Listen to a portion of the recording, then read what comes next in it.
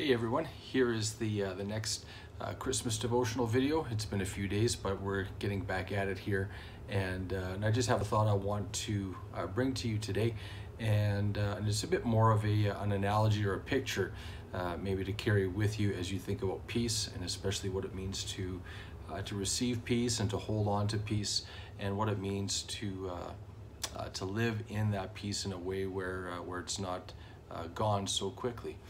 Uh, so I want to make a bit of a comparison today, and it's just a, just a thought um, I think God put on my heart just to share uh, with you. Um, so the comparison actually is uh, from the way we spend our finances to the way we spend our our peace. And, uh, and if peace is a gift and we can receive that peace from Jesus, um, the, the picture that, uh, that I've been getting about, about spending or using that peace um, is comparable to the way we live with our finances. And, uh, and especially at Christmas time, it's easy for finances to be tight as we think about, uh, you know, getting Christmas presents for family, for friends, and uh, you know, in, in the winter time, uh, for some, uh, heating bills are higher and, and grocery bills are higher. Uh, Christopher's home for the holidays now, and so for us, that means having a little bit of extra food in the cupboard, a little bit of extra milk for cereal, and all of these kinds of things and, and, and we make adjustments to, to our budget according to what we know uh, we're going to be spending or what we anticipate we're going to be spending. And, uh, and I'm thinking that the idea of peace uh, as it relates to our emotions, as it relates to uh, living within our emotional budget. Uh, so some people have a very wide or broad emotional range and others have a more narrow uh, or more clearly defined emotional range and that's okay. We, we have different uh, different personalities and different temperaments but but I think the key ingredient in, in this comparison or in this picture is uh, we try not to live beyond our financial means. In other words we can't spend more than we're making uh, otherwise we go more into the hole. And, uh, and nobody wants to be in a situation where they go more and more and more into debt. Um, but in the same way, our emotional lives uh, also have limitations. And those limitations are tested under times of stress, under times of grief, uh, under times where our circumstances are out of the ordinary. And, and sometimes it leaves us confused, not quite knowing what to do, not quite knowing what to think, and in some cases, not even knowing quite how to feel, or uh, changing how we feel frequently, going from frustration to joy to anger to peacefulness. Um, uh, it's easy uh, in times of stress uh, for our emotions to be all over the map. So if you found yourself kind of being all over the place in the middle of a COVID season, you're not alone. And, and what you're going through is quite normal.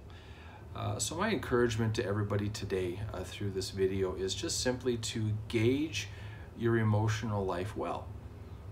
Now, if you find yourself uh, more than normal experiencing feelings of frustration or experiencing feelings of confusion or grief uh, or anger, uh, it's probably a good time to pause and to uh, try to identify what it is that's causing those emotional responses. Because uh, I think peace, in, in part, uh, we can experience God's peace at a greater level when we live within our emotional means. Uh, what I mean is, is if we're living beyond our emotional means, we end up borrowing uh, from our supply of peace. Now, Jesus can always replenish our supply of peace. We can come to Him in a moment of prayer, a moment of confession, a moment of worship, a moment of just recentering and, uh, and bringing uh, Him our burdens and laying those at His feet and, and receiving more peace. Um, but day to day, just like our uh, just like our, our budgets, uh, we make uh, we have expenses each day.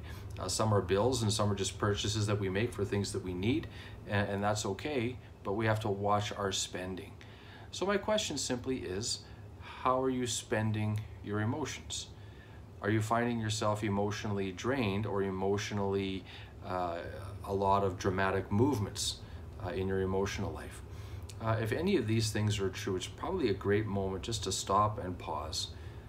Spend some time with Jesus in worship, in prayer, spend some time in His Word, spend some time just uh, asking Him to search your heart and to help you sort out uh, a lot of those feelings. Uh, because if you're in one of those places, chances are you've overspent your emotional budget. and now you need to pause and allow allow your emotions to catch up. When we live within our emotional means, there's a great level of peace that comes. Uh, simply because we are not allowing ourselves to stretch beyond our emotional capacity. And so, for some of us, that means pausing more often uh, for our spiritual batteries to be recharged, and that's totally okay.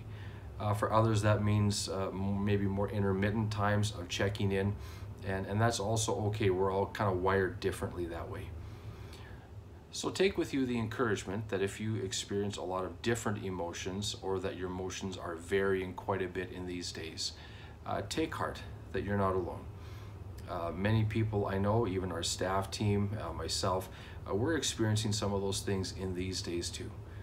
And so my prayer for you is that you would find a space with Jesus uh, to be calm, to allow your emotional life to be recharged. And as you're recharged emotionally and refreshed by Jesus as he gives you more peace, uh, then to be diligent and wise in how you spend those emotions.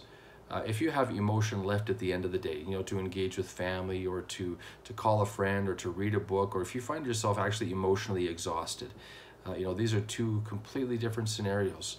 And I'd love for each one of us to be able to put our head on the pillow each night uh, with some emotion left in the tank, knowing that we haven't spent the emotion that we have for that day and, and having a chance to recharge when we need to.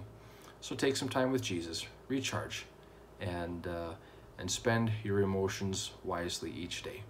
Thanks everyone for tuning in and uh, keep tuning in for more uh, devotional thoughts as we keep heading into the Christmas season.